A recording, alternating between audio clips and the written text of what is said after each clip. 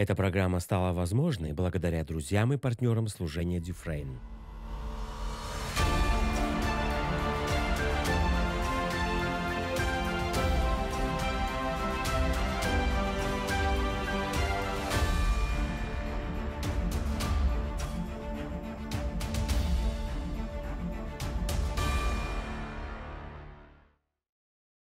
Добро пожаловать на программу «Иисус Целитель». Мы ожидаем что-то чудесное от Бога сегодня.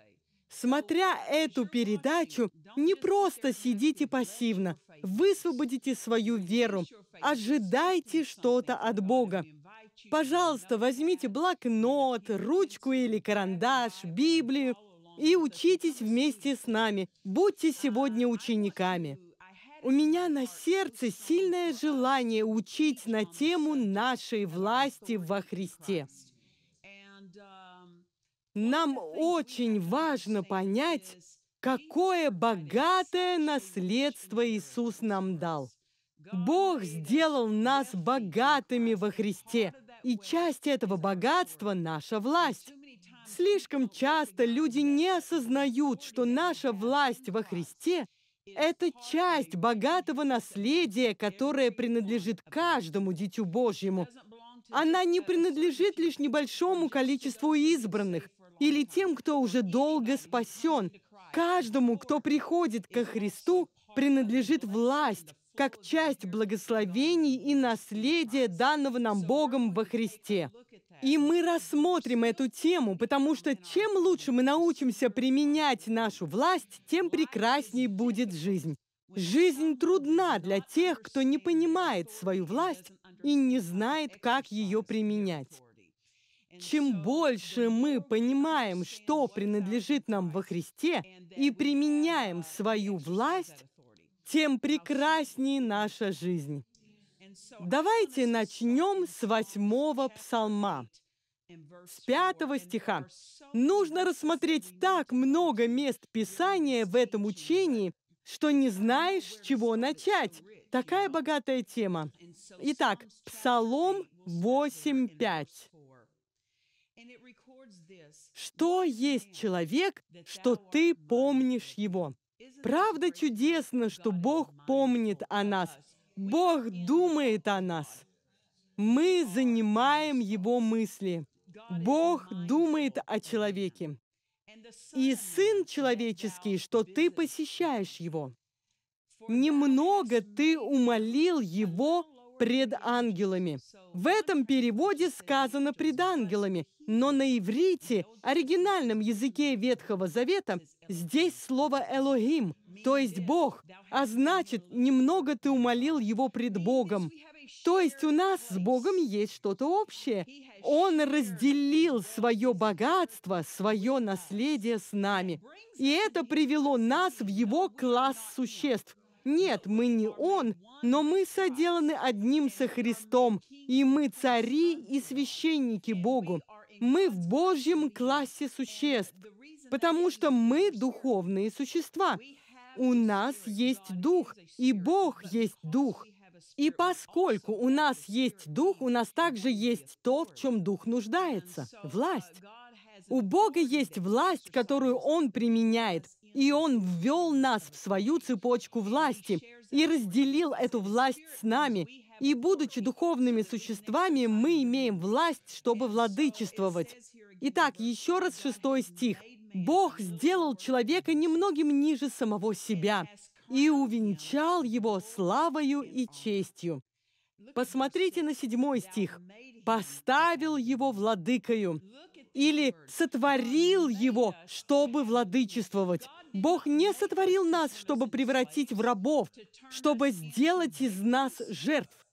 Мы должны владычествовать. Он сотворил нас, чтобы владычествовать. Обратите внимание, в первой главе книги «Бытие» сказано, что человек был сотворен по образу Божьему. Что имеется в виду? Дух человека. Человек — это дух. Бог есть дух. И по образу Божьему мы духовные существа. И нам нужно понять то, что здесь сказано, что Он сотворил нас, чтобы мы владычествовали. Владычество — это духовная сила. Это не земная сила, доверенная нам или возложенная на нас другим человеком. Это духовная сила, духовная власть, духовное владычество. Итак, мы сотворены по образу Божьему как духовные существа, и Он разделил свою власть с нами. Как сказано в восьмом псалме, Он сотворил нас, чтобы мы владычествовали. Мы были сотворены для владычества. Мы были сотворены для этого. И не живя в той власти, в том владычестве, которое Бог дал нам во Христе, мы не верны своему предназначению. Владычество нам к лицу. Нам идет ходить во власти. Мы сотворены для этого. Итак, мы сотворены, чтобы владычествовать. Над чем? Над всем, что противостоит Богу над всем, что не проистекает от Бога, что не приходит от Бога. Нам нужно над этим владычествовать и отказаться в этом участвовать. Этому не место в нашей жизни или в нашем присутствии. Итак, седьмой стих. «Поставил его владыкою». Над чем? Над делами рук твоих. Все положил под ноги его. Потрясающая истина! которую нам нужно ухватить. Восьмой стих расписывает, что это значит в человеческих категориях. Овец и волов всех, и также полевых зверей, птиц небесных и рыб морских, все приходящее морскими стезями. То есть над всем, что Бог сотворил, Бог дал людям владычество. Послушайте, когда Бог сотворил человека, Он сотворил землю в качестве дома для него. На время существования человека на земле земля была сотворена для человека. Нам нужно это понять. Земля была сотворена для человека, а не наоборот. Человек не был сотворен для земли. Когда Бог задумал сотворить человека, Он начал все для этого подготавливать создал землю. За шесть дней, в седьмой он отдыхал, он создал место жительства для человека. Затем он поместил Адама в саду и сказал ему, «Владычествуйте, владычество нам к лицу, мы были сотворены для него». Давайте откроем первую главу Ефесянам и начнем читать со второй половины 19 стиха. Это место Писания такое насыщенное, такое богатое, но по причине времени мы не можем читать все, так что начнем с 19 стиха. Здесь речь идет о том, что нам нужно через откровение познать ту силу, которая нам принадлежит. Могущество, которое в нас, верующих. И 19 стих по действию державной силы Его, которую Он воздействовал во Христе. И что совершила эта сила? Воскресив Его из мертвых. Итак, сила Божья – это сила воскресения. Павел говорит о силе Божьей, которая воскресила Иисуса из мертвых. И не только воскресила его из мертвых, но и посадила одесную Бога на небесах. И эта сила нам принадлежит. Эта сила нам доступна. Эта сила доступна тем, кто верит. Она вступает в действие, когда мы верим в нее. К этой силе необходимо приложить веру, потому что 19 стих говорит о величии могущества Его в нас, верующих. Эта сила воскресила Иисуса из мертвых, посадила Иисуса по правую руку Отца. И в 21 стихе сказано, «Превыше». Превыше чего? Превыше всякого начальства, превыше всякой власти, превыше всякой силы, превыше всякого господства. Обратите внимание, есть другие уровни власти, но наша превыше. Есть другие начальства и власти, но власть, принадлежащая нам во Христе, гораздо выше всех других, превыше человеческой силы, превыше силы ума. Аминь. Она гораздо выше. В 21 стихе сказано, что Иисус был посажен превыше всякого начальства и власти, и силы, и господства. Заметьте, когда Иисус умер за нас, пошел в ад и победил дьявола, сразил его, все это противостояло его воскрешению из мертвых. Все начальства, все власти, все силы и господства противостояли его воскрешению. Но сила Божья была такой великой, что подняла его гораздо выше всего, что противостояло его воскрешению из мертвых и тому, чтобы он был посажен по правую руку Отца. Власть Божья совершила все это. Сила Божья. И это та власть, которая принадлежит нам во Христе. Бог разделил с нами эту власть. Итак, здесь мы видим, что совершило то владычество, та власть, которая принадлежит нам во Христе. Насколько больше она сработает для вашей семьи, для вашей жизни, если она совершила все это со Христом, воскресила его из мертвых, посадила его по правую руку Отца. 22 стих. Бог все покорил под ноги его. Речь идет об Иисусе.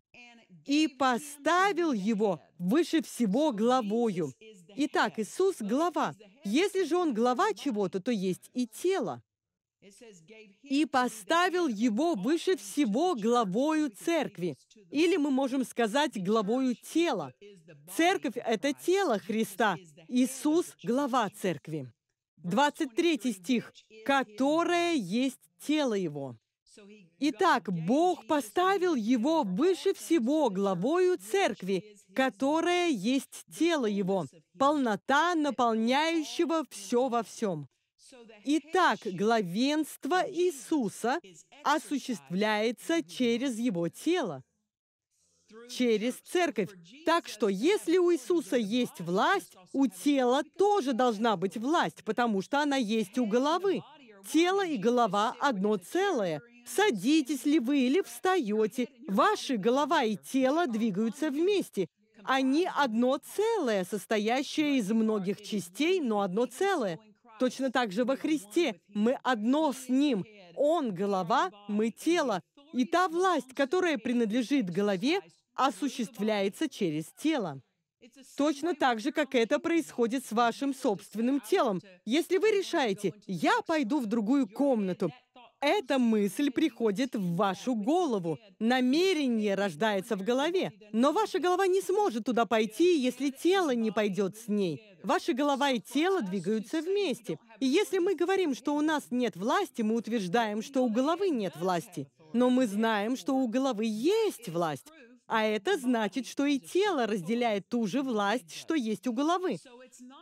Не мы заслужили эту власть. Иисус заслужил ее для нас. Он ввел нас в эту власть. Аллилуйя.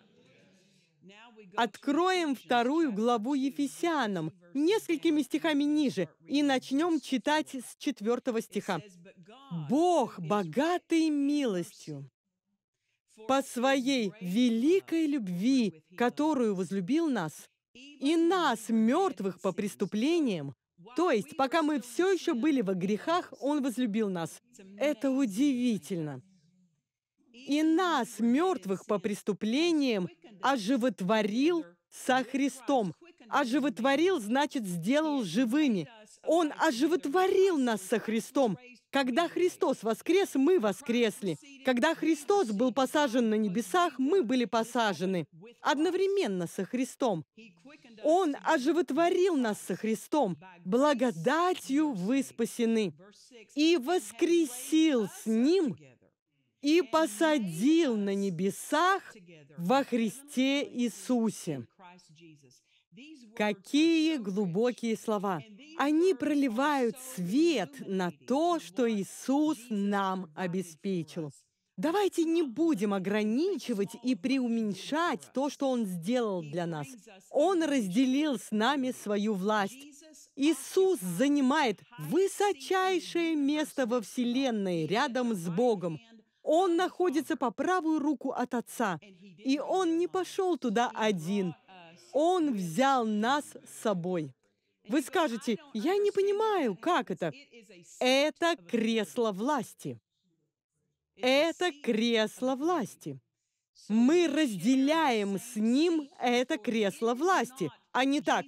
Иисус сидит на кресле, а тело Христа располагается рядом с ним на куче кресел. Мы все вместе сидим на этом кресле власти. Голова и тело сидят вместе. У вас же голова не сидит в одном кресле, а тело в другом. Голова и тело одно. И когда Христос воскрес, по великой своей любви Бог сделал нас одним со Христом, и мы совоскресли с Ним. И мы разделяем с Ним это кресло власти. Наша власть проистекает от этого престола. Это потрясающе. У нас не просто человеческая власть, обычная власть этого мира. Наша власть проистекает от правой руки Бога Отца. Аминь. Воскреснув и будучи посажены со Христом, мы занимаем высочайшее положение со Христом. А дьявол не хочет, чтобы мы об этом знали. Он не хочет, чтобы мы это понимали. Он хочет заставить человека колебаться при мысли об этом, потому что обычный человеческий разум не в состоянии воспринять все это величие величие этой истины. Человеческий ум пытается в ней разобраться и осекается. Ее нужно принять сердцем, духом. Вот почему Павел молился в первой главе Ефесянам, чтобы Бог дал нам духа премудрости и откровения к познанию Его. Дух премудрости и откровения — это не что-то, что приходит в ум. Это то, чем наделяется ваш дух. Ваш дух должен за это ухватиться. Ваш дух должен это взять. Это должно стать истиной внутри вас а не чем-то, что вы можете мысленно представить. Это мудрость Божья, которую нужно принять своим духом, принять своим сердцем, и наделяет нас ею Дух Святой, чтобы мы вообще могли принять эту мудрость. Аминь. Аллилуйя. Итак, наша власть проистекает от этого вознесенного престола. Наша власть от Него. Мы ее не зарабатываем, не заслуживаем. Мы ее просто принимаем и верим. И чем больше мы в нее верим, тем больше мы поступаем соответственно. Адам потерял это владычество. Адаму было дано владычество над всей землей, когда Бог поместил его в саду. Но когда он совершил измену против Бога и согрешил, он не просто потерял общение с Богом, он потерял свою власть, он потерял свое владычество. Почему? Потому что, выйдя из подчинения Богу, разорвав общение с тем, от кого проистекает власть, вы лишаете себя власти. Адам потерял власть. Он передал ее тому, кто его обманул. Во втором Коринфянам 4.4 Слово называет дьявола Богом этого мира. Это не было намерением Отца. Он сделал Адама главой или владыкой над землей. Но Адам отдал это врагу. Вот из-за чего все беды на земле. Вот из-за чего вся разруха. Это дела дьявола. Люди говорят, Бог контролирует землю. Ну, то, что происходит на земле, происходит потому, что дьявол назван Богом этого мира. С маленькой буквы Богом этого мира. Он получил это от Адама. Адам должен был применять свою власть, чтобы благословлять землю. Но когда он оступился и согрешил против Бога и передал эту власть дьяволу, дьявол воспользовался ею, чтобы вредить земле чтобы приносить боль и разрушение на землю. Люди говорят, почему Бог приносит такие беды на землю? Бог этого не делает. Адам не защитил свою власть должным образом. Власть вам принадлежит. Защищайте ее, используйте ее правильно, используйте ее, чтобы благословлять. Бог дал нам власть, чтобы мы были благословением. Когда дьявол заполучил эту власть в свои руки, он использовал ее, чтобы проклинать, вредить, разрушать, воровать, грабить и убивать. Помните, Иисус сказал, «Дьявол приходит только для того, чтобы украсть, убить и погубить. Я пришел для того, чтобы имели жизнь». Вот какое предназначение Бог дал Адаму – быть благословением при помощи этой власти. Но он отдал свою власть, и дьявол злоупотребляет ею, чтобы вредить. Дьявол хочет продолжать выполнять свой план – красть, убивать и губить. Он хочет и дальше выполнять этот план. Но когда пришел Иисус, Бог не просто вернул человека в общение с собой, но и вернул человеку власть. Аминь.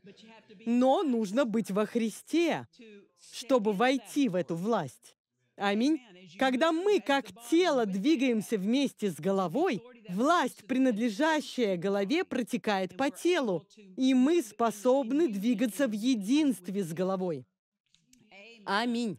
Слава Господу! Людям хорошо бы понять, откуда вред, боль, разрушение, убийство и все неправильное приходит. Бог не имеет с этим ничего общего. Все по причине того, что человек не ценил ту власть, которая ему принадлежала, не защищал ее. Теперь же, когда Христос возвратил нас в общение с Отцом, мы также вернулись в позицию владычества, вернулись к власти. Защищайте эту власть. Применяйте эту власть. Для чего? Чтобы нести благословение. Вот для чего Божья власть. Чтобы благословлять, а не вредить и ранить. Аминь. Дьявол не хочет, чтобы христиане знали, что им возвращена полная и абсолютная власть над ним. Он не хочет, чтобы человечество это знало.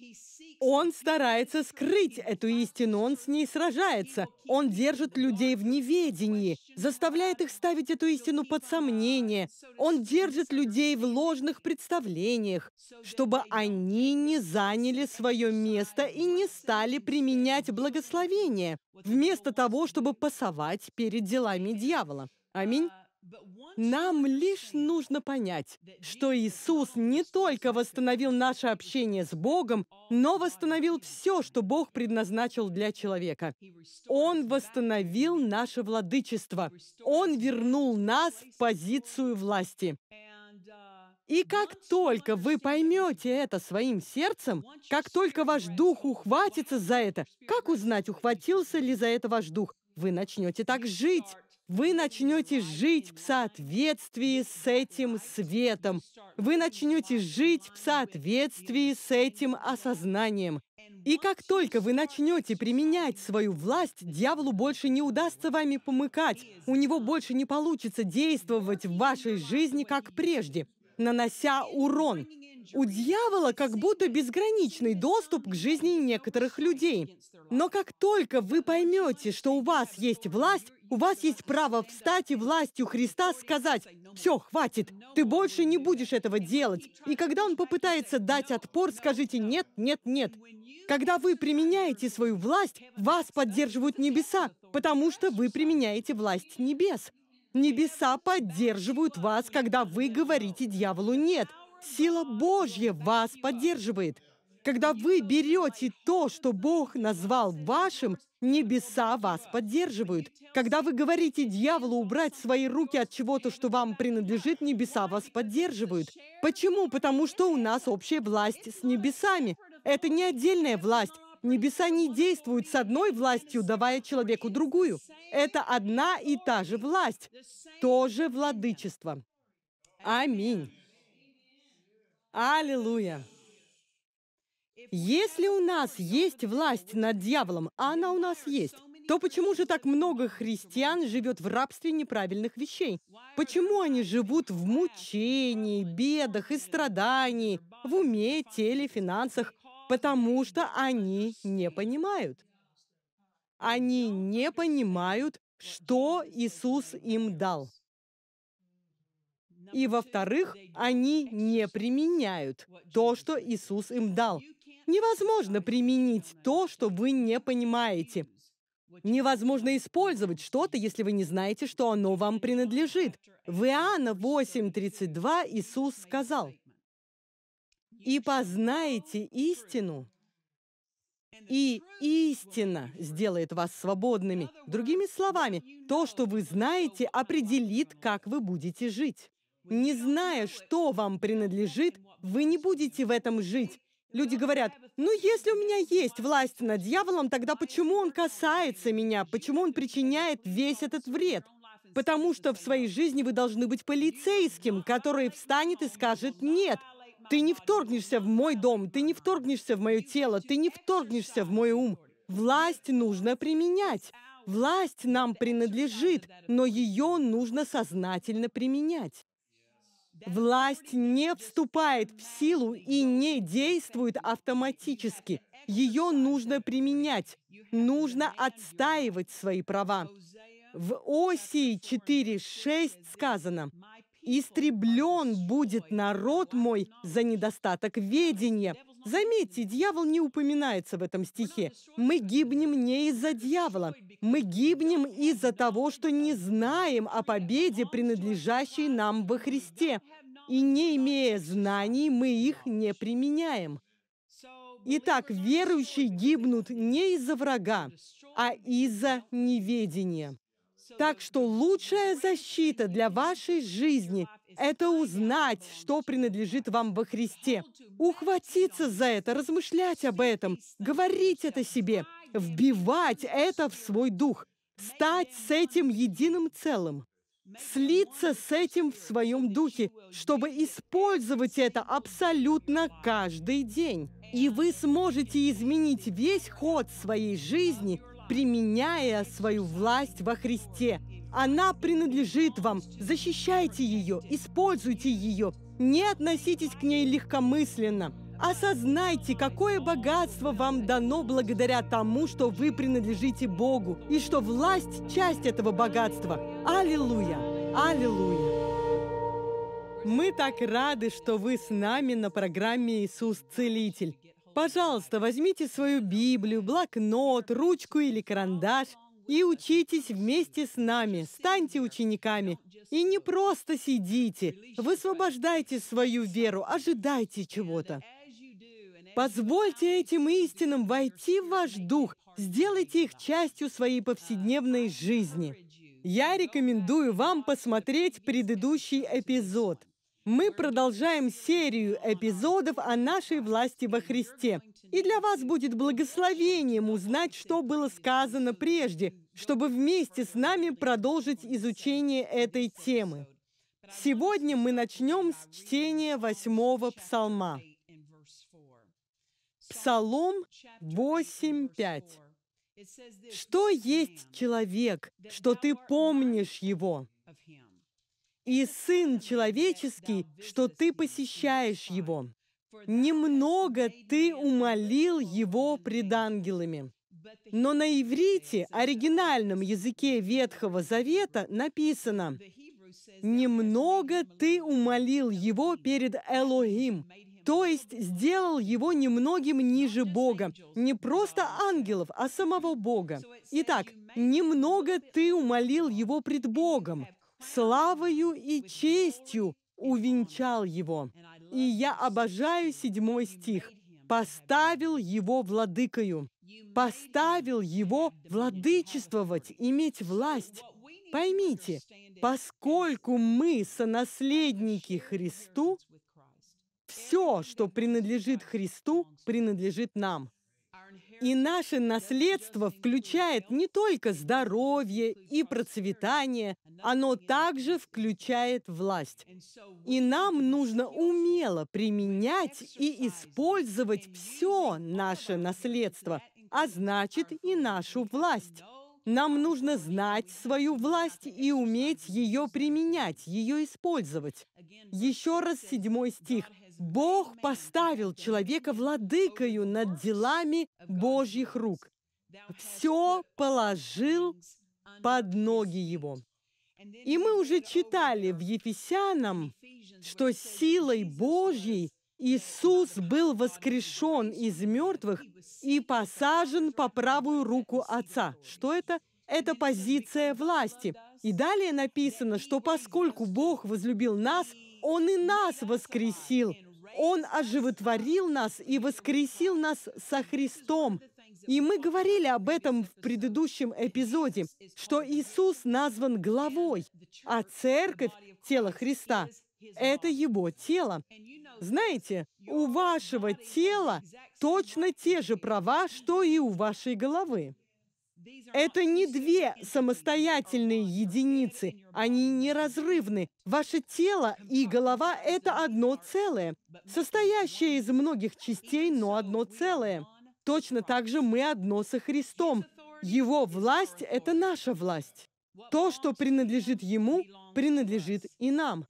Люди этого не понимают, и дьявол хочет помешать им прозреть, потому что, поняв, что вам принадлежит та же власть, что и Христу, вы прекратите позволять дьяволу осуществлять его план в вашей жизни каждый день. Иисус не позволял планам врага против него преуспеть.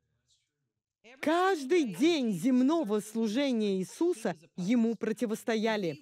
Когда он возлагал руки на больных, когда он проповедовал истину, столько религиозных лидеров и людей из толпы противостояло ему, а он просто продолжал действовать. Он просто перешагивал через это противостояние и продолжал двигаться.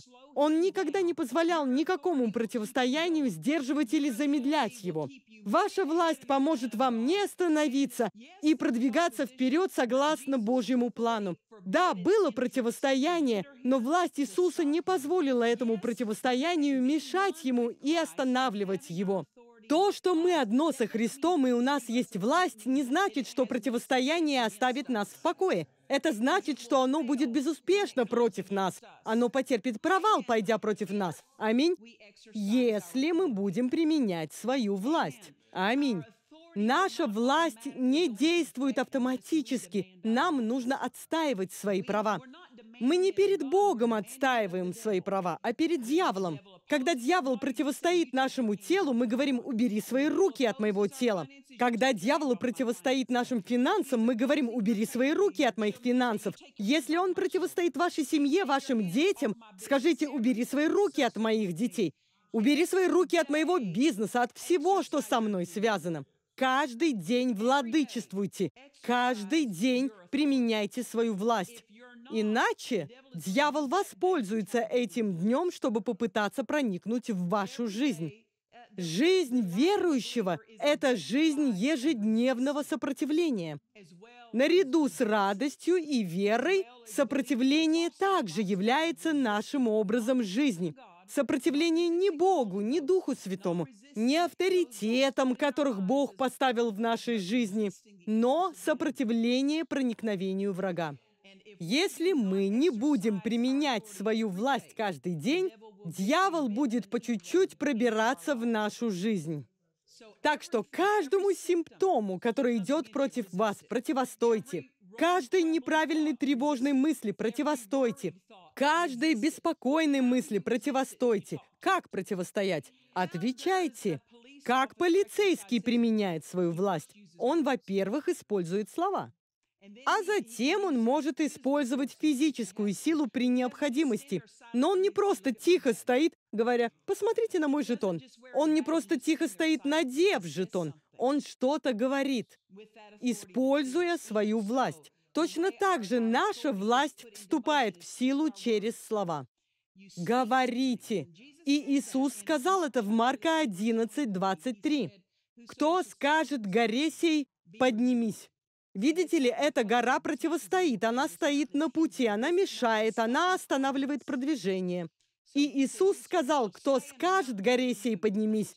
О чем он говорит? Применяйте свою власть. Если вы примените свою власть, скажете горе, поднимись и ввергнись в море, и не усомнитесь, видите ли, вам нужно верить, что у вас есть власть. Кто не усомнится в сердце своем, но поверит, что сбудется по словам его, будет ему, что не скажет. Этот стих заявляет, то, с чем вы будете говорить, будет вам повиноваться. Почему? Потому что, когда вы примените свою власть, вас поддержат небеса. Божья сила вас поддержит. Власть ничего не дает, если за ней не стоит сила. Сила Божья присутствует в вашей жизни, внутри вас и вокруг вас и для вас – чтобы поддержать ту власть, которую вы применяете. Вы не действуете в одиночку своими человеческими усилиями и способностями, пытаясь привести что-то в исполнение. Когда вы говорите что-то согласно той власти, которую Бог вам дал, Его сила выходит навстречу этой власти и поддерживает вас. Абсолютно каждый раз. Но вам нужно верить, что Его сила вас поддерживает. Послушайте, если бы мы на самом деле полностью, как должны, верили в то, что сила Божья нас поддерживает, насколько больше мы бы делали для Бога, согласно Его плану. Аминь. Иисус сказал в Иоанна 8:32, «И познаете истину, и истина сделает вас свободными». Вам нужно лично знать истину. Недостаточно, что ее знает ваш пастор. Вам нужно знать ее. Вам нужно знать ее в собственной жизни. Никто не может применять власть в вашей жизни, кроме вас. Ваш пастор не должен применять свою власть вместо того, чтобы вы применяли свою власть. Он помазан и уполномочен учить вас о вашей власти, но вам нужно встать и отстоять свои права и привилегии. Посещение церкви замечательно, и нужно приходить в церковь, но это не заменит применение вами своей власти. Просто посещение церкви – это не применение власти. Каждый день нужно применять свою власть против того, что пытается помешать Божьему плану в вашей жизни. В Осии 4.6 Бог сказал, «Истреблен будет народ мой за недостаток ведения». Когда люди не знают, что принадлежит им во Христе, они лишаются тех благ, которые им даны. И нам нужно не просто знать, что у нас есть власть, но и использовать эту власть. Как мы говорили в предыдущем эпизоде, часто люди мыслят неправильно. Они говорят, почему в мире творится зло? Потому что люди, у которых есть власть, не используют ее. У Адама была власть, и он ее передал. Согрешив, пойдя против плана Божьего, пойдя против Слова Божьего, он не только утерял общение с Богом, но и ушел со своей позиции власти. Когда общение было разорвано, власть была утеряна. И второе Коринфянам 4.4 называет дьявола богом этого мира.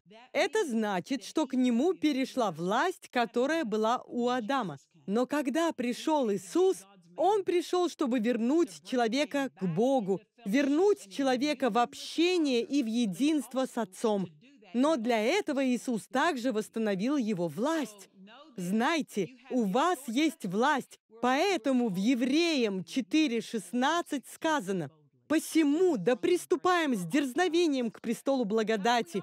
Нам дано это право». Каким образом? Мы сидим прямо рядом с Отцом. Мы воскрешены и посажены со Христом на небесах. Так говорит Слово. Наше место у престола. Наше место у престола. Аминь. Итак, христиане, которые неправильно мыслят, не понимают преподаваемой здесь истины, иногда обвиняют Бога. Почему Бог позволил этому произойти со мной? Почему Бог позволил этому произойти с моей семьей? Почему Бог позволил этому произойти с моими детьми? Нам нужно понять, Бог позволяет то, что мы позволяем. Почему? Потому что Бог разделил с нами власть. Помните, когда Иисус был на земле, ученики попросили его «научи нас молиться». И он произнес молитву. «Отче наш, сущий на небесах, да светится имя Твое, да придет царствие Твое, да будет воля Твоя и на земле, как на небе». Божья воля всегда исполняется на небе. Почему? Потому что это его место обитания. Там находится его престол. И в своем собственном присутствии он применяет власть небес. Если бы воля Божья исполнялась на земле, как на небе, зачем бы Иисусу было молиться, чтобы она исполнялась на земле, как на небе? она не исполняется, пока никто не сотрудничает с Богом, который на небе. Итак, что нужно, чтобы воля Божья исполнялась на земле, как на небе? Нужно, чтобы люди, которые одно с Отцом, одно с Иисусом и разделяют с Ним ту же власть, применяли на земле ту власть, которую Бог применяет на небе. Аминь. Поразительно! Мы участвуем в исполнении этой молитвы. Иисус сказал, «Отец, да будет воля Твоя на земле». Как? Через нас. Владычествуя, применяя свою власть, мы запрещаем то, что Бог запрещает, разрешаем то, что Бог разрешает. Но если мы что-то не запрещаем, нет запрета, который небеса могли бы поддержать. Если мы что-то разрешаем, небеса вынуждены это разрешить. Так что вместо того, чтобы обвинять Бога, почему Он позволяет злу происходить, нужно обвинить собственное недостаточное использование Божьей власти. Но я не знал, что могу ее использовать. Ну, слово и говорит, истреблен будет народ мой за недостаток ведения. Плохо находиться в неведении. Незнание приводит к поражению. Мы больше не можем обвинять Бога в том, что Он нас подвел. Поняв, что принадлежит вам во Христе, вы никогда не позволите с ваших уст сойти обвинением, что Бог не выполнил свою часть. Всегда дело в нас, никогда не в Боге. Причина провала всегда с человеческой стороны, потому что у нас есть та же власть, с которой Иисус действовал, когда Он был на земле, и которую Он сейчас применяет по правую руку от Отца. У нас та же власть, и эта власть совершит то же, что она делала для Иисуса. Но нам нужно применять эту власть. Аминь. И если мы приходим к Богу и говорим, «Почему ты допустил это в моем доме?» Будь у нас уши, чтобы слышать, Бог бы сказал, «Почему ты допускаешь это в своем доме?» Так ответили бы небеса, если бы вы прислушались, потому что так говорит Слово. Аминь. Небеса нас поддерживают, но нам нужно действовать, чтобы небесам было что поддержать. Матфея 18, 18. Иисус сказал чудесные слова о том, как проявляется наша власть. «Истинно говорю вам, что вы свяжете на земле, что вы свяжете, не что Бог свяжет, а что вы свяжете на земле, то будет связано на небе. И что вы разрешите на земле, то будет разрешено на небе. И прочитаем, как это звучит в других переводах. Все, что вы запретите на земле, небеса запретят. Все, что вы позволите на земле, небеса позволят. Все, что вы запретите в своем доме, небеса запретят. Все, что вы позволите в своем доме, небесам придется позволить, будь то хорошее или плохое. Небеса нас поддерживают. Заметьте, тут не сказано, все, что будет связано на небе, вы свяжете на земле. Нет, действие начинается на земле. Действие начинается на земле вы связываете на земле, и затем небеса реагируют на то, что вы делаете на земле. Если вы не выдаете запрет на что-то, небесам нечего поддержать. Аминь. Небеса нас поддерживают. Здесь мы видим, как Иисус передает власть и объясняет людям, не понимающим этого, как нужно жить. Вы связываете. Если вы не хотите чего-то в своей жизни, запрещайте это. Если вы хотите разрешить что-то в своей жизни, разрешайте. Высвобождайте это в своей жизни. Аминь. Высвобождайте доход, чтобы он пришел к вам. Видите ли, дьявол связывает доход. Дьявол связывает умножение. Развяжите. Если что-то не приходит в вашу жизнь, это потому, что оно где-то связано. То, в чем вы нуждаетесь. Помните, как Иисус направлялся в Иерусалим, чтобы быть распятым? А пророками было предвещено, что он въедет в Иерусалим на осленке, помните? И Иисус сказал своим ученикам, В соседнем селении есть осленок. Пойдите, отвяжите его и приведите ко мне. Он не сказал, ну, если у Бога есть для меня осленок, значит, он появится. Нет, он дал указание ученикам пойти и развязать то, что понадобилось Господу. Они так и сделали, и Иисус въехал на нем. Заметьте, некоторые вещи нужно развязать, потому что они связаны где-то в другом месте. Развяжите их. Как? Своими словами. Осознайте, что вашу власть, власть, данную вам Богом, поддержит небеса. И, конечно, вы не можете просто связывать и высвобождать все подряд. Только то, что в плане и воле Божьей. Потому что Божья власть, она для плана Божьего, для воли Божьей. Вы не можете просто сказать, я заявляю, что тот дом в конце улицы мой. Если этот дом кому-то принадлежит и кто-то живет в нем, вы не можете забрать то, что принадлежит другому человеку. Бог не дает вам права выселять других людей, так? Но если Бог говорит, что это ваш дом, вы можете сказать, «Отец, я высвобождаю свою веру об этом. Я беру этот дом на основании того, что ты сказал». Нужно знать Его волю и Его Слово, чтобы связывать и высвобождать. И еще, связывая и высвобождая, будьте в духе. Не просто будьте на арене ума, будьте соединены со своим сердцем. Это должно проистекать из вашего сердца. Это не просто умственное действие, это духовное действие. Так что посвятите время тому, чтобы войти в присутствие Божье, поклоняться Богу, соединиться со своим Духом. Аминь. Аллилуйя. Иисус показывает нам в Матфея 18, 18, что все, что мы свяжем, будет связано. Небеса это свяжут. Во всем, что мы высвободим, небеса нас поддержат. Иисус показывает нам, что Он победил дьявола, повернулся и передал нам власть и нам нужно сыграть свою роль.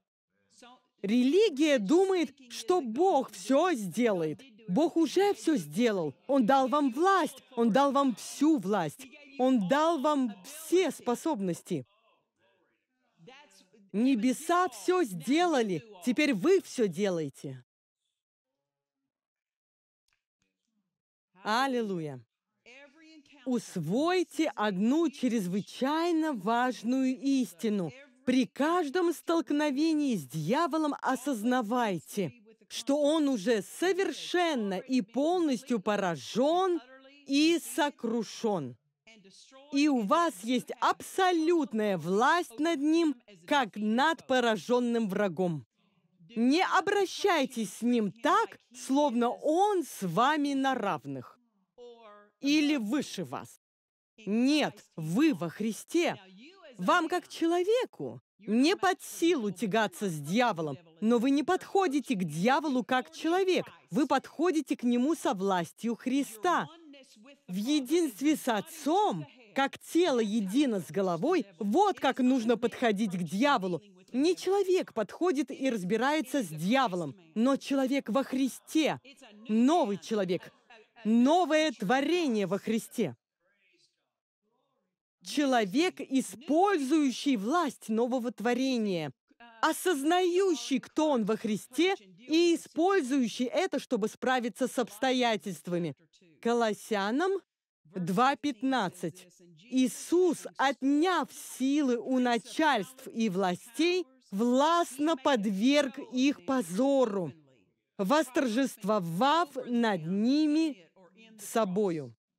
Иисус полностью поразил начальство и власти и лишил их силы. Иисус поразил дьявола, затем повернулся и передал нам эту победу. Иисус победил дьявола не ради себя, Он победил его ради нас. Чтобы у нас была победа. Аминь. Мы не пытаемся заново поразить дьявола. Мы не пытаемся заново его победить. Он уже побежден. Поэтому каждый раз, когда приходят симптомы, недостаток, умственные мучения, подходите к ним с пониманием. Вы уже побеждены. Симптомы вы уже побеждены. Недостаток ты уже побежден. И я здесь, чтобы напомнить всему, что приходит, вы побежденные враги. И я применяю власть и победу, которая уже завоевана для меня. Вот что поддержит небеса. Понимая, что дьявол побежден, вы обращаетесь с ним соответственно, мыслите и говорите о нем соответственно. Аминь. Мы не пытаемся заново победить дьявола. Мы применяем его поражение. И мы применяем свою победу. Победу, которую завоевали не мы, а Христос для нас. Мы применяем то, что Иисус совершил для нас.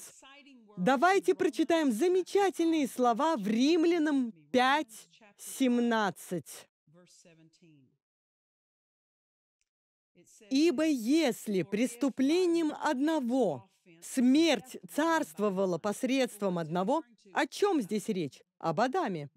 Когда Адам совершил преступление, предал Бога, совершил измену, согрешил против Бога, смерть воцарилась. Что это значит? Смерть взяла верх, смерть получила власть, смерть начала действовать.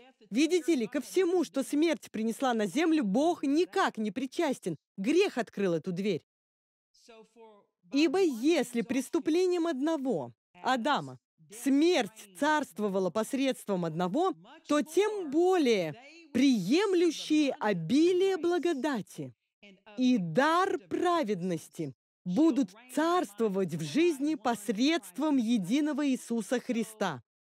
Итак, поражение Адама не было последней точкой. Иисус пришел. Он обратил вспять все, что сделал Адам.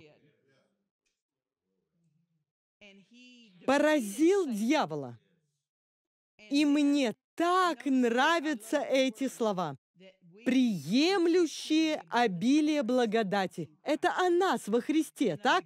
И дар праведности. Видите, мы теперь праведны перед Богом, потому что это подарок. Мы ничего не заслужили. Мы получили дар праведности. И что теперь?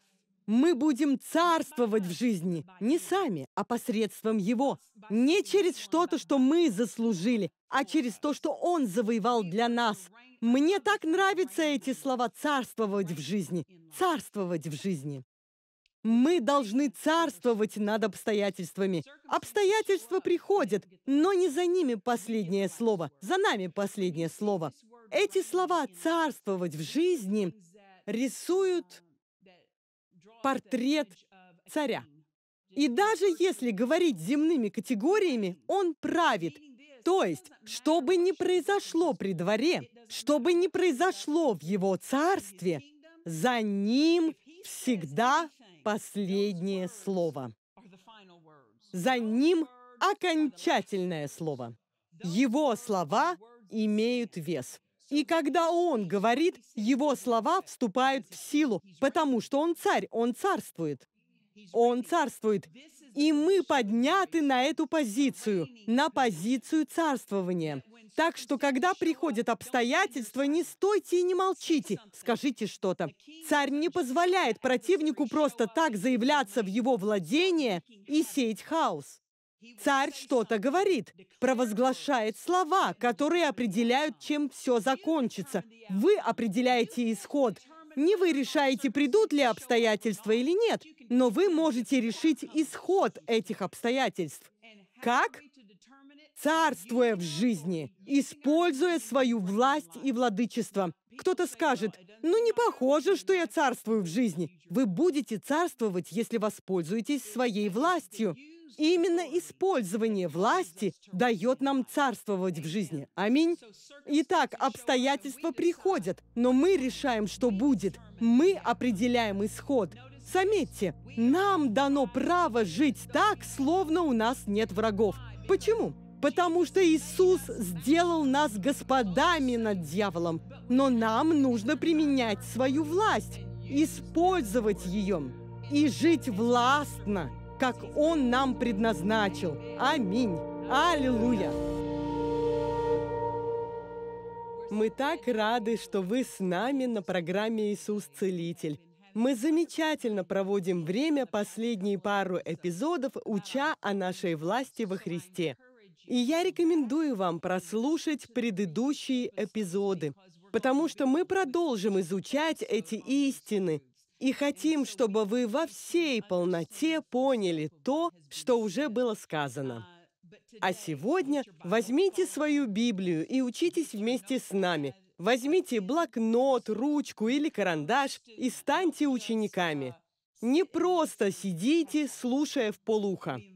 Сосредоточьтесь, вовлекитесь и примите то, что Бог вам приготовил. Овладейте этими истинами. Позвольте им опуститься в ваш дух. Именно попав в ваш дух, они будут действовать для вас.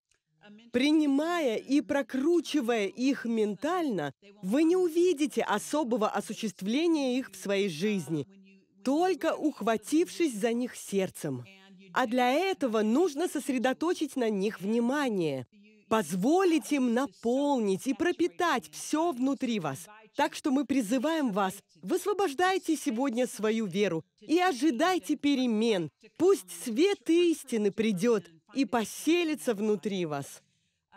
Сегодня, как и в предыдущих эпизодах, мы снова начнем с чтения восьмого псалма, с пятого стиха. «Что есть человек, что ты помнишь его, и сын человеческий, что ты посещаешь его? Немного ты умолил его пред ангелами». Ветхий Завет был написан на иврите, и вместо слова «ангелы» здесь употреблено слово «элохим», что значит «бог». То есть этот стих звучит следующим образом. «Ты сделал человека немногим ниже Бога, славою и честью увенчал его, поставил его владыкою». Здесь глубоко раскрыты планы и цели Божьи для нас – он сотворил нас, чтобы мы владычествовали. Он не сотворил нас, чтобы мы были жертвами. Жертвами этого мира, жертвами греха. Он сотворил нас, чтобы мы господствовали над грехом, господствовали над делами дьявола. Бог поставил нас владыками над обстоятельствами, атакующими нашу жизнь. Мы своей властью и владычеством решаем, каков будет исход этих обстоятельств. Итак, седьмой стих. «Бог поставил человека владыкою над делами рук Божьих, все положил под ноги его». В первой главе Ефесянам мы читаем, что сила Божья воскресила Христа из мертвых, и посадила его превыше всякого начальства, власти, силы и господства. Все это пыталось противостать его воскрешению из мертвых, но потерпело неудачу. Все это было полностью поражено и сокрушено. Сила врага была уничтожена Иисусом. И та же сила, которая воскресила Иисуса из мертвых, не только подняла его из могилы, но и посадила его на кресло по правую руку от Отца посадила его на кресло власти прямо рядом с отцом. И что чудесно, в Ефесянам сказано, что это произошло не только с Иисусом. Там в продолжении написано, что по великой Божьей любви к нам Он и нас воскресил с Ним и посадил на небесах во Христе Иисусе. Мы говорили в предыдущем эпизоде о том, что тело это единое целое, состоящее из многих частей. И то, что принадлежит голове, принадлежит и телу. То, что принадлежит телу, принадлежит и голове. Они неразрывны. Иисус – глава, у Него есть власть, и Он разделил эту власть с телом. Так что мы не заработали эту власть своими делами, мы ее не заслужили. Та власть, что у нас есть на земле, наша власть над дьяволом, это власть, которую Иисус завоевал и разделил с телом. Он дал телу ту власть, которая принадлежит ему самому как главе. Предположим, вы у себя дома хотите из одной комнаты пойти в другую – Ум, который в голове, принимает это решение. Я встану и пойду в другую комнату. Но тело осуществляет это действие. Голова не выполняет это действие самостоятельно. Она делает это посредством тела. И Иисус осуществляет свою власть через тело. Иисус не осуществляет свою власть отдельно от нас. Он осуществляет свою власть на земле посредством тела.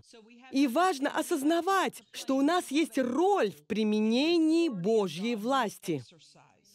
Аминь. Нам нужно понять, что власть — часть нашего наследия. Спасибо Богу за Его благословения, которые нам принадлежат благодаря тому, что мы во Христе. Исцеление, процветание, победа, мир, радость — все это нам принадлежит. Но давайте не будем забывать и о владычестве. Владычество, власть тоже нам принадлежит. Это часть наследия тех, кто един со Христом. В пробуждении последних дней будет такая мера чудес, исцелений, освобождений, демонстрации силы, которую прежде не видело ни одно поколение. И это произойдет в том числе благодаря более полному осознанию и применению нашей власти. Да, чудеса приходят, потому что мы верим Богу, но благодаря тому, что мы ходим в своей власти, живем в своем владычестве и используем его. Так что пробуждение последних дней требует большего понимания власти, принадлежащей нам во Христе, и применения этой власти. Ведь так часто люди обвиняют Бога. Почему ты позволяешь этому происходить в моей жизни? Почему ты позволяешь тому происходить? Голова позволяет то, что позволяет тело. Аминь. Вопрос не в том, почему Бог что-то позволяет, а почему тело это позволяет. Почему мы разрешаем чему-то происходить. Ведь нам дана власть на земле, чтобы помочь осуществить план Божий и волю Божью на земле. Помните, в Матфея 18, 18 Иисус сказал, «Все, что вы свяжете на земле, Заметьте, он не сказал все, что Бог свяжет на земле. Все, что вы свяжете на земле, будет связано на небе. Что это значит? Небеса вас поддержат. Сила Божья начнет действовать, поддерживая вас в том, что вы связываете своими словами. Затем Иисус продолжил, «И что разрешите на земле, то будет разрешено на небе». Снова мы видим, что что-то должно произойти на земле. И тогда небеса выйдут навстречу тому, что начато на земле. Аминь. Нам нужно что-то делать, не так ли? Нам нужно что-то делать. Нам нужно править и царствовать в этой жизни. Мы говорили об этом в предыдущем эпизоде. Благодаря тому, что Иисус сделал для нас, Он дал нам царствовать в жизни. Что такое царствовать в жизни? Это не значит господствовать над другими людьми. Это значит править и господствовать над обстоятельствами, восстающими против вас. Всему, что идет против вас, у вас есть право сказать. Я запрещаю это в моей жизни. Я запрещаю это у себя дома. Я запрещаю это в моей семье. Я запрещаю это в моих финансах. Я запрещаю это в моем теле. Я запрещаю это в моем уме. У вас есть право запрещать. И у вас также есть право высвобождать, разрешать то, что вы хотите, чтобы произошло. Аминь. Иисус сказал, будет ему, что не скажет. Так что используйте свою власть. И так важно понимать, что власть дана не только для кризисных времен. Власть дана на каждый день. Власть нужно использовать каждый день. Знаете, мы с мужем воспитали двух сыновей. И мы использовали свою родительскую власть не только, когда у наших сыновей был какой-то кризис. Мы использовали свою власть каждый день. Власть была нормой в нашей семье. Она была частью воспитания, частью обучения детей. Итак, власть существует не только для кризисных времен, чтобы привести что-то в порядок. Власть поддерживает порядок. Она не дает порядку нарушиться. Аминь. Бог хочет, чтобы мы взяли ту власть, что Он нам дал, и царствовали в жизни посредством ее. Помните, что Слово говорит в шестой главе римлянам. Грех не должен над вами господствовать. Что это значит? Если у греха нет господства, то и у дьявола нет господства. Грех проистекает от дьявола. У греха нет господства, потому что у дьявола нет господства над нами. Аминь. Мы сменили Господ при рождении свыше. Мы избавлены из царства тьмы и введены в царство Его возлюбленного Сына. В этом царстве есть власть. В этом царстве есть владычество, и нам нужно воплощать царство Отца. Мы применяем не просто человеческую власть, а божественную власть, данную нам, потому что мы одно с Отцом. Аминь. Аллилуйя. И нам дано право жить так, словно у нас нет врага. Почему? Потому что Иисус сделал нас господами над дьяволом. Дьявол не хочет, чтобы вы знали, что у него нет над вами господства. Оглянувшись вокруг, можно увидеть столько людей, на которых влияет господство врага над ними. Он строит им козни, у него есть доступ к их жизни, но не к нашей. Если же мы невежественны и не применяем свою власть, то в невежестве мы можем открыть дверь для дьявола. Аминь. Но мы вовсе не обязаны это делать. Не обязаны. Невежество держит человека в состоянии жертвы. Нам нужно знать, что Иисус нам обеспечил, чтобы жить в победе, применяя свою власть и владычество. Всем духом и сердцем ухватитесь за истину, о которой мы учим в этих эпизодах, что дьявол уже побежденный враг. Подходите так к каждому противостоянию. Оно уже побеждено. Этот симптом Иисус уже победил. Этот недостаток Иисус уже победил. И я применяю эту победу. Как насчет плохих привычек? Как насчет зависимости? Как насчет извращений? Я хочу, чтобы вы знали, если вы принадлежите Христу, Иисус все это уже победил. И если вы принадлежите Христу, у вас есть право жить в свободе от всего этого. Вы скажете, если Он меня освободил, почему же я это чувствую? Ваше дело осуществлять эту свободу, применять это владычество, применять эту власть. Аминь. Я вот чему научилась. Когда человек понимает свою власть во Христе и использует ее, Дьявол больше не может им помыкать, а враг помыкает столькими людьми, хотя так не должно быть. В вашей жизни будет все, с чем вы миритесь. Мы со слишком многим миримся. Мы многое принимаем, со многим свыкаемся, с недостатком, болью, симптомами, неразберихой, ссорами. Мы миримся, но стоит решить, Стоит получить откровение, что все это больше не владычествует над нами. И вы скажете, погодите-ка, я запрещаю все это. Помните, что Иисус сказал нам в Матфея 18, 18. «Все, что вы свяжете, будет связано на небе. Все, что вы высвободите, все, что вы позволите на земле, будет высвобождено на небе. Связать значит запретить. Людям нужно запрещать определенные вещи в своей жизни. Запрещать определенные вещи в своем браке, в своих финансах, в своем бизнесе, в своем теле. Запрещайте. И когда вы запретите, небеса вас поддержат. Сила вас поддержит и приведет этот запрет в исполнение. Также высвобождайте. Всему, в чем вы нуждаетесь, говорите «прийти». Прекратите жить, сводя концы с концами. Скажите полному обеспечению прийти к вам. Это часть вашей власти во Христе. Каждый день применяйте свою власть во Христе. И родители, у вас есть власть поддерживать порядок в доме. У вас есть родительская власть, родительские полномочия. Когда родители не применяют свою власть, поверьте, она не остается невостребованной. Дети берут ее в свои руки. Ребенок может стать начальником в доме, если родитель сложит свои полномочия. Точно так же с дьяволом. Если вы не используете свою власть, дьявол начинает действовать. Он начинает двигаться в вашей жизни, действовать против вас. Аминь. Когда родители не выполняют свою роль и не применяют свою власть, дети контролируют дом. Они диктуют все, что происходит, диктуют атмосферу в доме, диктуют реакции в семье. Аминь. В вашем доме будет происходить все, с чем вы миритесь.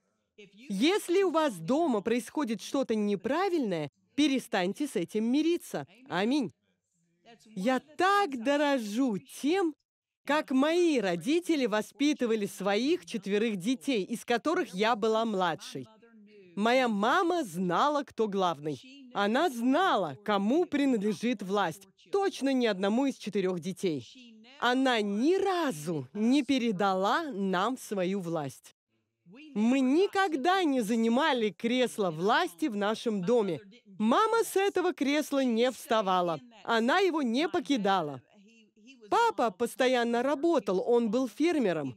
Он отсутствовал по 18-20 часов в сутки.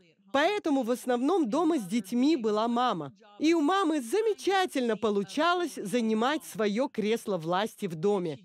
Она неплохо справилась, потому что трое из нас стали пасторами, трое из четырех детей. Почему? Потому что она не впускала неправильные вещи в дом. Она не подпускала неправильные вещи к нам. Аминь. Она применяла свою власть. Мы даже не знали, что такое перечить маме. А сегодня, куда ни пойдешь, удивляешься, что родители не умеют применять свою власть в семье. И это очевидно в их семье. Но даже если родитель сложил свои полномочия и лет 10-15 не использовал свою родительскую власть, знаете ли вы, что она все равно ему принадлежит? Использует он ее или нет, она все равно принадлежит его позиции. Она принадлежит позиции родителя. Мы воскрешены и посажены. У нас есть позиция на небе, во Христе. И власть принадлежит этой позиции. И даже если мы не использовали свою власть годами, она все равно принадлежит этой позиции.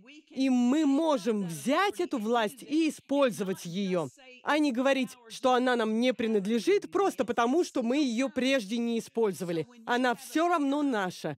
И если родитель отдал свои полномочия детям, он все еще может взять эту власть назад.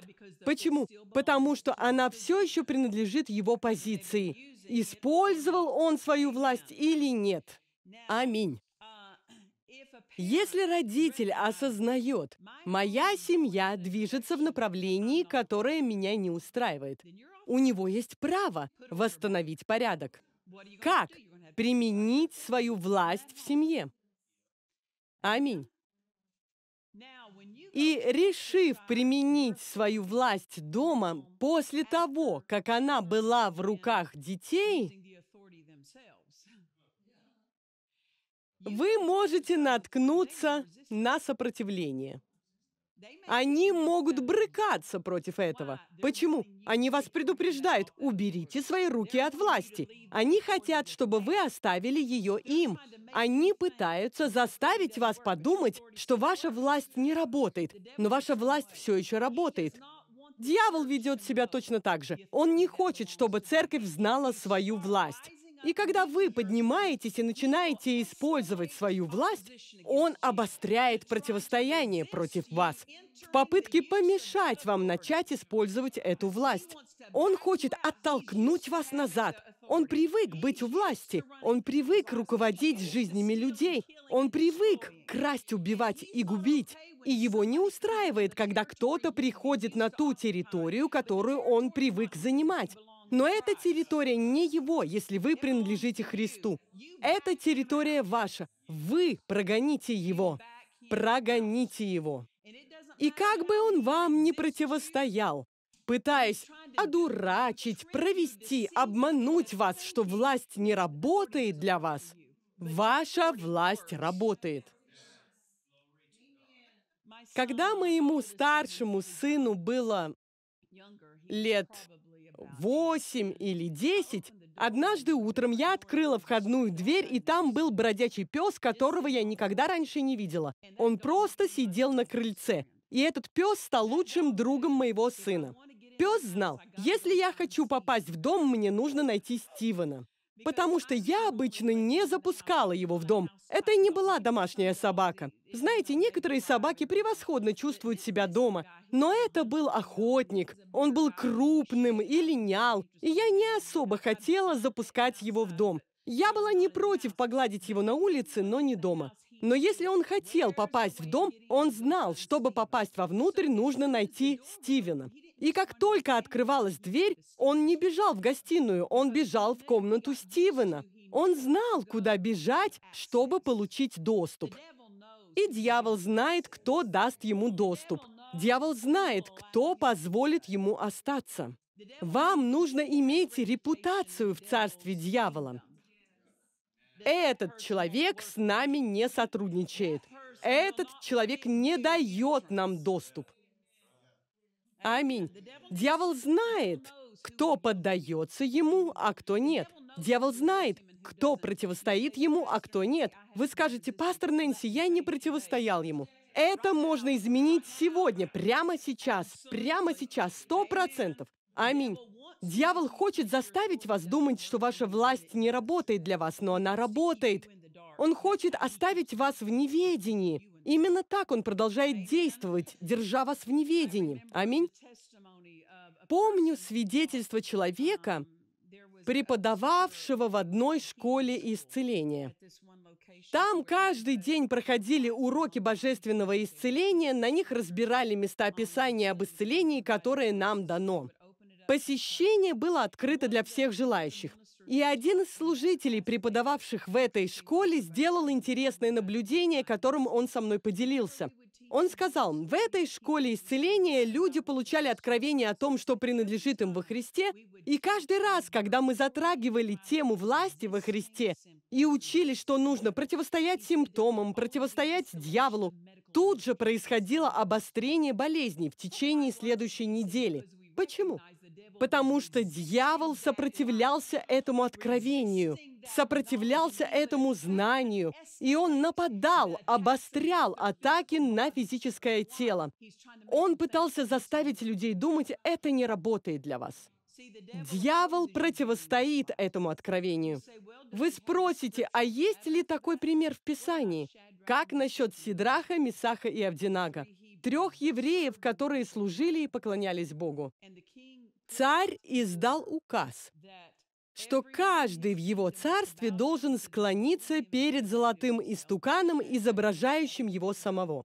И Сидрах, Месах и Авдинага отказались это сделать. Они сказали ему, мы не поклонимся. Что они сделали? Они использовали свою власть. Мы не станем этого делать. Они сказали это царю. И он повелел, разожгите печь в семь раз сильнее. Что он сделал? Усилил противостояние. Усилил противостояние. Почему? Чтобы заставить их подумать, что то, что они сказали, не сработает для них. Но что сделали Сидрах, Месах и Авдинага? Просто продолжили делать то же, что они уже делали. Они не изменились. Как они применяли свою власть, так они и продолжили стоять в своей власти. Они сказали, мы все равно не склонимся. И что произошло? Небеса их поддержали, сила пришла. Иисус проявился в огне. Аминь. Вот что интересно. Царь сказал, разожгите печь в семь раз сильнее.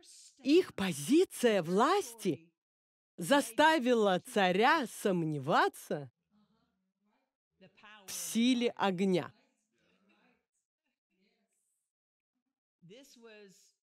Огонь есть огонь. И, несомненно, эту печь уже прежде использовали для наказания других непокорных. Но когда они сказали, мы все равно не поклонимся, царь подумал, ха, уж лучше разжечь печь в семь раз сильнее. Если печь работает, какая разница, насколько она горяча? Раз работает, значит работает. Если дьявол что-то обостряет, значит он боится того, что вы только что сказали. Он показывает, что он сомневается в том, что его план против вашей жизни сработает. А что вам делать? Не переживайте. Не важно, что симптомы обостряются, не важно, что обстоятельства ухудшаются. Просто стойте на своем. Аминь. Просто стойте на своем. Потому что Если вы не уклонитесь от своей власти, Бог каждый раз вас поддержит. Аминь. Слава Господу! В первом послании Петра 5.8 сказано «Трезвитесь, бодрствуйте».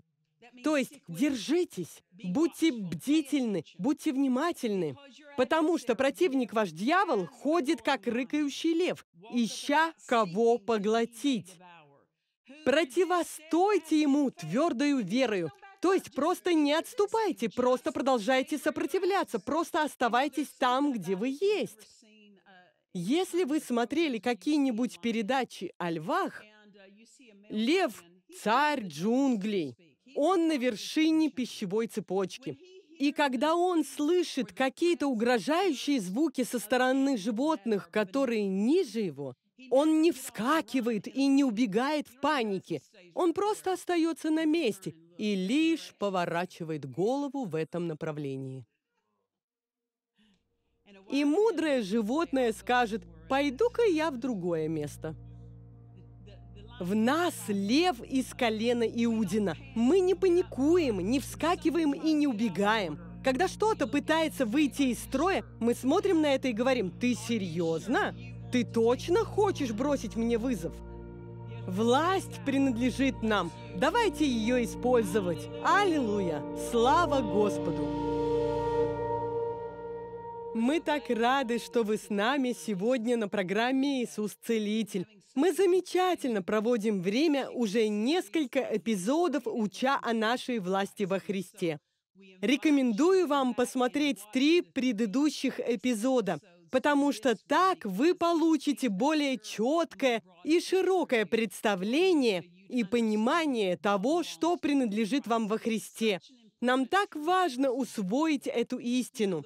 Слово говорит, «Истреблен будет народ мой за недостаток ведения». Дьявол рассчитывает на наше неведение. Ведь только так он может осуществлять свой план, через наше неведение. Но когда мы получаем откровение о том, что принадлежит нам во Христе, дьявол больше не может совершать то, что прежде совершал в нашей жизни. Давайте, как и каждый эпизод в этой серии, начнем с чтения восьмого псалма. Псалом 8, 5. «Что есть человек, что ты помнишь его, и сын человеческий, что ты посещаешь его? Немного ты умолил его пред ангелами». Ветхий Завет в оригинале был написан на иврите, и в иврите здесь использовано не слово «ангелы», а слово «элохим», то есть «Бог». И стих звучит следующим образом. «Немного ты умолил его пред Богом, славою и честью увенчал его, поставил его владыкою над делами рук твоих. Все положил под ноги его. Я это обожаю. Бог сотворил нас, чтобы владычествовать.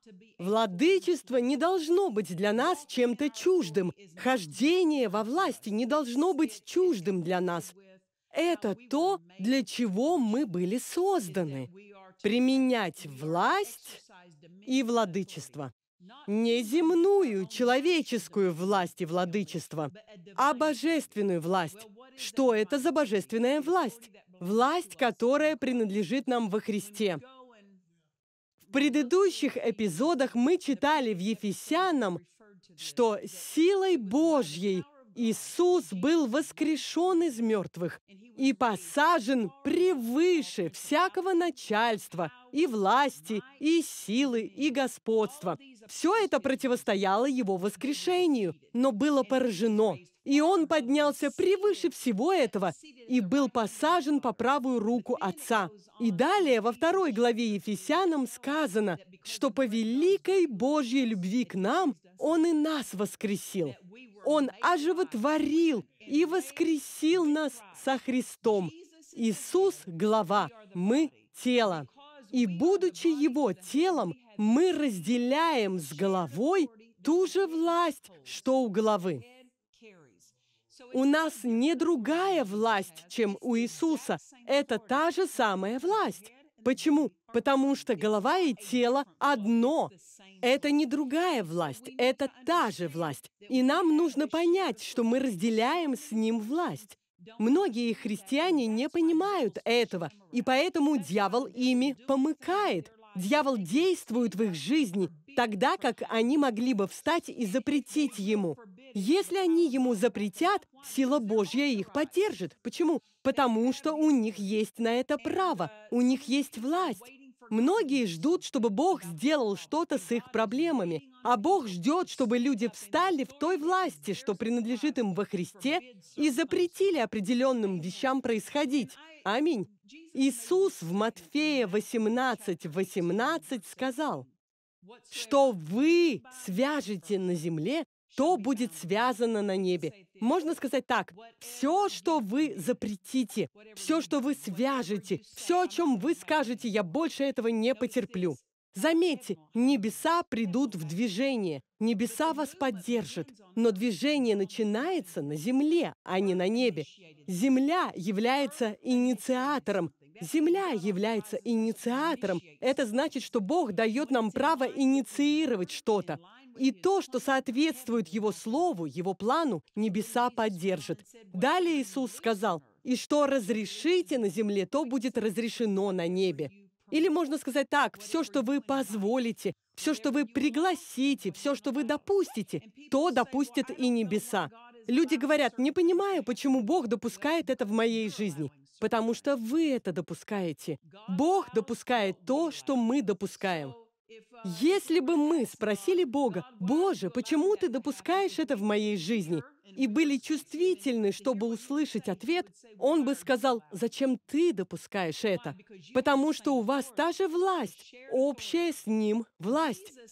Власть принадлежит Иисусу, но Он разделил ее с телом, потому что мы одно с Ним. Тело на земле. Я говорю, тело на земле. Тело Христа, церковь, находится на земле.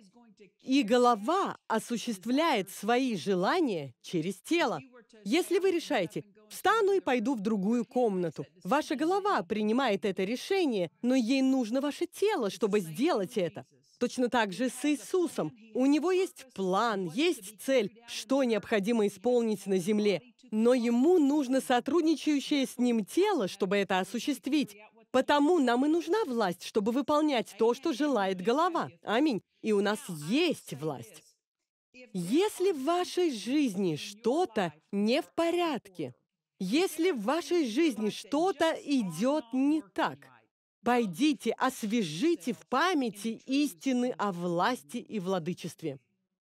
Если что-то не в порядке, это потому, что вы позволили этому произойти, и вам нужно освежить эти истины, потому что так легко поплыть по течению. Будь что будет. Иисус никогда так не действовал. Он всегда применял свою власть, свое владычество. Каждый день его земного служения он сталкивался с противостоянием, абсолютно каждый день. Как только Иисус был помазан при крещении в реке Иордан и пошел служить людям, его повсюду окружало противостояние, и он применял свою власть. И когда дьявол заявлялся, например, через кого-то одержимого, Иисус никогда не уходил, не разобравшись с дьяволом. Иисус никогда не оставлял за дьяволом последнее слово. За Иисусом было последнее слово, потому что последнее слово решающее. Когда к Иисусу приводили кого-то, кто был связан и хотел освободиться, Иисус каждый раз разбирался с этим. Почему? Он ходил в своей власти. У вас есть та же власть, и эта власть благословит землю. Она благословит вашу жизнь, она благословит ваш дом, она благословит ваш бизнес, она благословит землю. Иисус сказал, что дьявол приходит, чтобы украсть, убить и погубить. Но я пришел, чтобы вы имели жизнь. Не правда ли? Это часть благословения. Власть дана нам не для того, чтобы мы господствовали над людьми и добивались от них своего. Она дана для того, чтобы мы несли благословение и давали отпор тому, что враг хочет сделать на земле. Мы даем отпор планам врага, даем отпор тьме. Вы скажете, почему нам нужно это делать? Потому что изначально власть на земле принадлежала Адаму, и он передал ее дьяволу.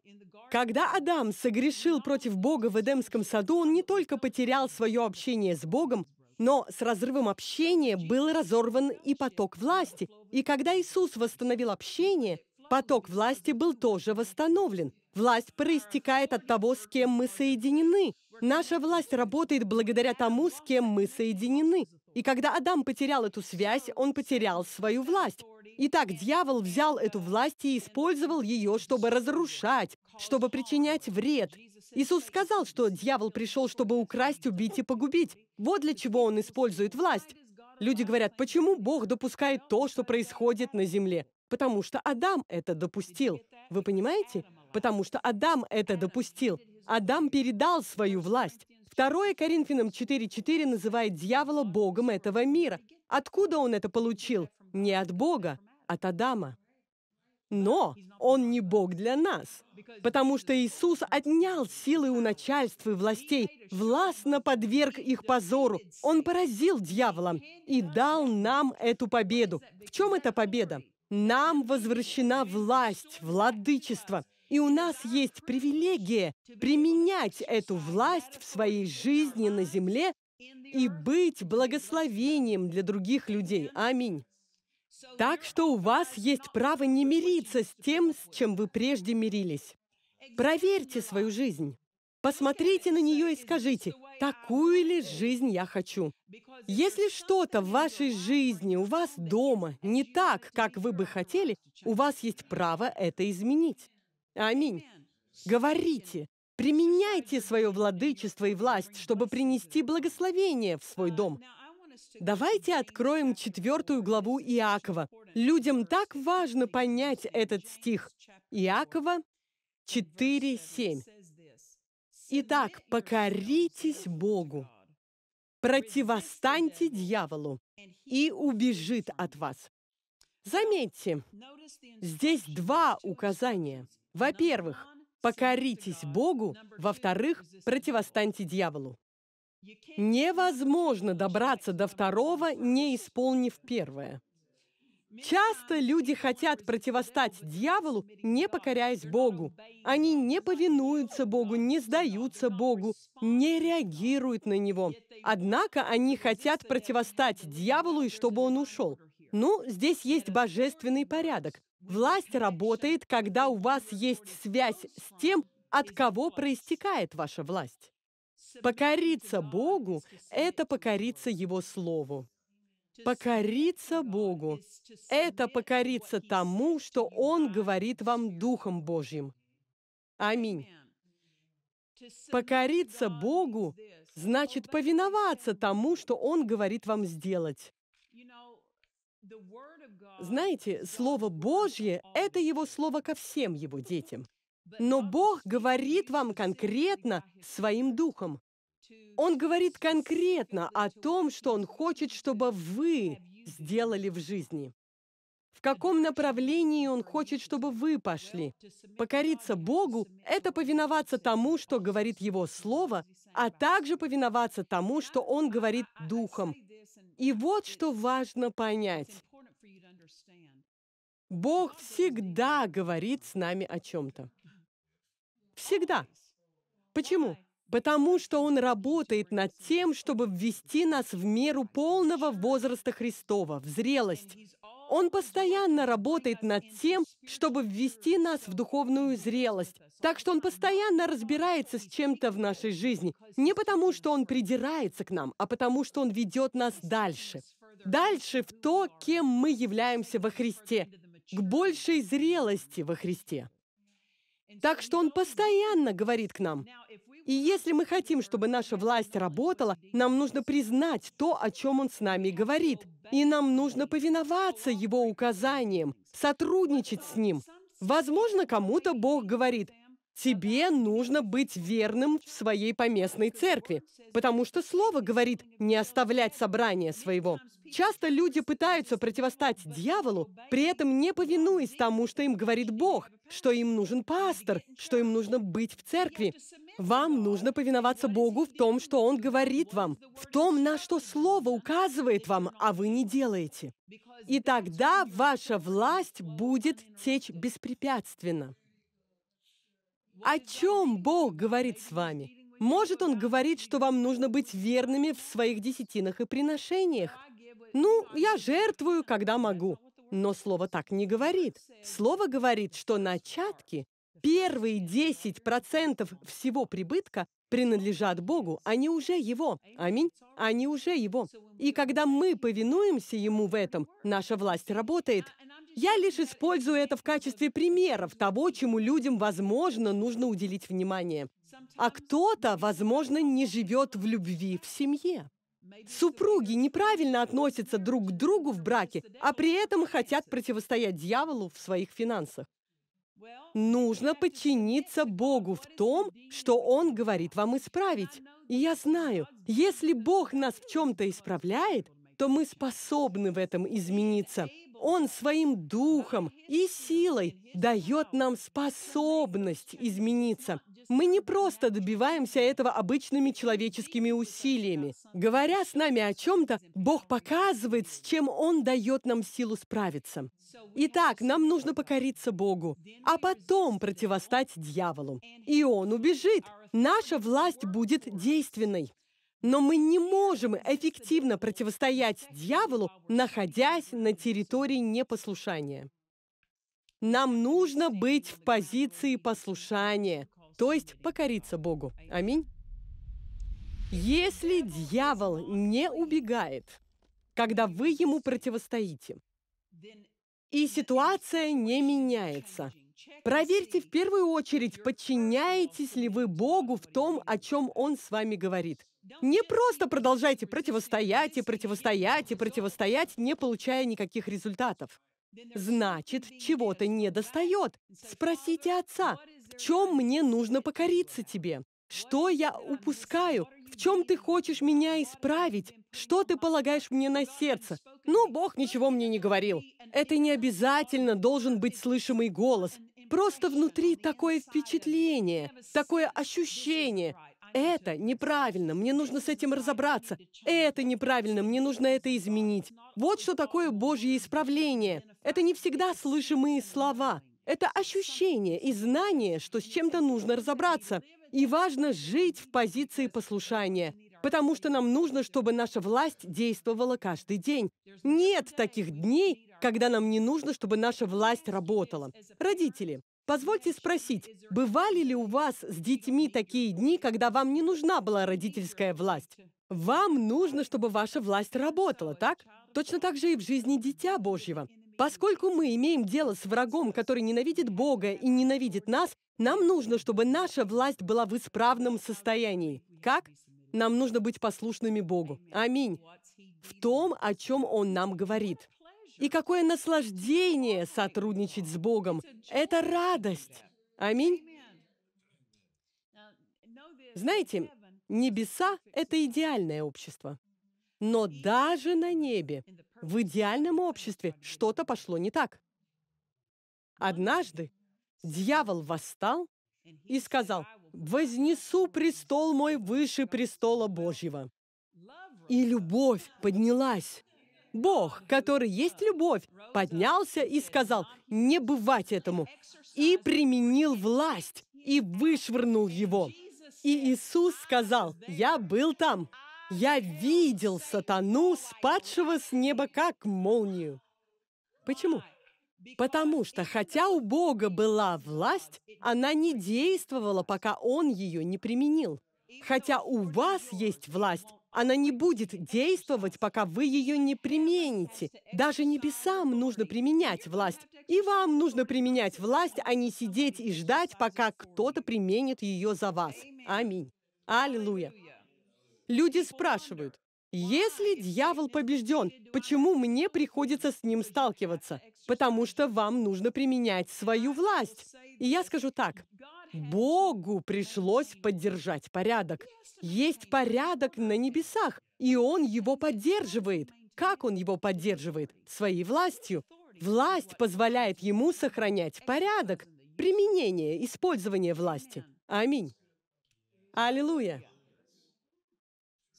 И также с нами. Иисус сказал, «Се даю вам власть наступать на змей и скорпионов и на всю силу вражью, и ничто не повредит вам, когда вы будете применять свою власть. Если вы не будете применять свою власть, все это может повредить вам. Но когда вы применяете свою власть, вы наступаете на все это и идете дальше, не позволяя этому остановить вас или помешать вашему продвижению. Все это не может повредить вам, когда вы ходите в своей власти и применяете ее. Но если вы решите сдаться и не разбираться с этим, это вторгнется в вашу жизнь, обоснуется там и сможет вам повредить. Аминь. Итак, дьявол поражен, потому что Иисус лишил дьявола власти над нами, победил его, свел его на нет, как сказано в одном переводе. И люди спрашивают, почему же мне приходится с ним сталкиваться? Он побежден, но он еще не заключен в тюрьму. Однажды он будет заключен в тюрьму, и он потеряет всякую связь с человечеством. Но до тех пор он действует как вор среди людей. И Иисус назвал его вором. Он приходит, чтобы украсть, убить и погубить. И поскольку он еще не в тюрьме, нам нужно разбираться с ним посредством нашей власти. Аминь. И это привилегия. Вы полицейский в собственной жизни. Вы занимаетесь правоприменением в своей жизни. Полицейский не устанавливает законы. Он лишь исполняет законы, которые уже написаны. Это все, что он делает. Мы не устанавливаем законы, Бог установил законы. Мы исполняем законы, записанные в Его книге. Наше дело – правоприменение. Законы могут быть написаны, но люди не соблюдают законы просто потому, что они написаны. Обществу нужен кто-то, кто будет следить за тем, чтобы люди соблюдали законы, которые написаны. Так? Чтобы люди не ехали на красный свет, не вламывались в чужие дома и не воровали, не угоняли машины с парковок. Задача полицейского – проследить за тем, чтобы законы исполнялись. Вот для чего у вас есть власть. Чтобы проследить за тем, чтобы законы, написанные в книгах небес, исполнялись. Аминь. И если вы не будете следить за их выполнением, беззаконие будет буйствовать в вашей жизни. И вы не можете винить в этом Бога, если вы не выполняете свою правоохранительную функцию полицейскому дана власть, чтобы проводить в жизнь законы. То же самое Иисус сделал для вас. Он всем нам дал ту же власть, что у Него, чтобы мы проводили в свою собственную жизнь те же законы, которые Бог применяет на небесах. Аминь полицейскому выдают оружие и все необходимое, чтобы разобраться с теми, кто оказывает ему сопротивление. У него может быть дубинка, пистолет, электрошокер или баллончик. У него множество разных инструментов, чтобы стоять на страже закона. Эти инструменты даны ему высшей властью, так? Властями города или штата, наделившими его полномочиями. Бог вас тоже снаряжает, дает вам власть. И высшая власть вас поддерживает, потому что власть не проистекает от вас, она происходит с небес. Аминь. Полицейский, наделенный всеми полномочиями для выполнения своей работы, в какое-то утро, проснувшись, может очень плохо себя чувствовать физически, иметь кучу симптомов, боль в своем теле. Но если он выйдет из дома в униформе, со значком, который показывает, что он полицейский, признанный этим городом или штатом, как бы он плохо себя не чувствовал, власть все равно будет работать, будет работать. Неважно, чихает ли он или у него болит живот, как бы он себя не чувствовал, власть принадлежит его положению. У вас есть положение. Вы воскрешены и посажены со Христом. Тело сидит на том же кресле, что и голова. А не так, Иисус сидит на кресле, а тело выстроено дальше вдоль дороги. Тело сидит на том же кресле, что и голова. И кресло, на котором мы посажены на небесах, это кресло власти. Аминь. И неважно, хорошо ли вы себя чувствуете в какой-то день, неважно, чувствуете ли вы веру, неважно, чувствуете ли вы помазание или присутствие Божье, у вас все равно есть власть. Она принадлежит вашему положению. Она все равно работает, так же, как у полицейского, который в какой-то день нехорошо себя чувствует. Аминь. Теперь, позвольте мне коротко хотя бы перечислить три препятствия для использования нашей власти. Во-первых, неведение. Если вы не знаете, что принадлежит вам во Христе, вы в неведении о том, что говорит Слово, дьявол этим воспользуется. Дьявол будет сражаться, чтобы вы не поняли, не получили откровение и не согласились с тем, кто вы во Христе и какая власть принадлежит вам во Христе. Дьявол осуществляет свои планы именно посредством неведения, и он старается удержать вас в неведении. Так что избавляйтесь от неведения.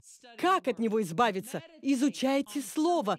Размышляйте особенно о тех местах Писания, которые мы выделили в последних эпизодах. Не просто читайте их, размышляйте о них, провозглашайте их самим себе. Аминь. Изучайте книги, которые учат о вашей власти. Слушайте проповеди об этом. Темой власти во Христе, наверное, следовало бы питаться ежедневно, постоянно. Почему? Потому что вы нуждаетесь в этой власти каждый день, и так легко отойти от этих истин. Итак, первое препятствие для вашей власти во Христе — это неведение. Второе — это неверие. Когда вы не верите, что эта власть вам принадлежит. Помните, Бог избавил народ свой из Египта. И Он совершил столько чудес, чтобы освободить их. И когда он пытался ввести их в полноту благословений, в их собственную землю обетованную, текшую молоком и медом, в землю изобилия, они не пошли. Почему? Они ему не верили. Они ему не верили. Хотя Бог уже дал им эту землю, и она им принадлежала, они не верили ему. Не доверяя Богу, человек не доверяет тому, от кого проистекает власть. И невозможно двигаться в истинном владычестве, не доверяя тому, от кого владычество проистекает. Как можно сказать кому-то «я тебя люблю», но не доверяю ни одному твоему слову? Ну, слава Господу. Это называется неверие, и оно враг вашему применению власти. Третье препятствие для применения власти и владычества – это грех. Как мы говорили, покоритесь Богу, не покоряйтесь греху, сдавайтесь Богу, не сдавайтесь греху, не сдавайтесь неправильным поступкам, потому что грех прервет успешное применение владычества и власти. Живите в чистоте. Чтобы применять владычество, нужно жить в чистоте. Спасибо Богу за кровь Иисуса, очищающую нас. Почему? Потому что она ставит нас в правильное положение, чтобы мы могли занять свое кресло власти. Aleluia, aleluia.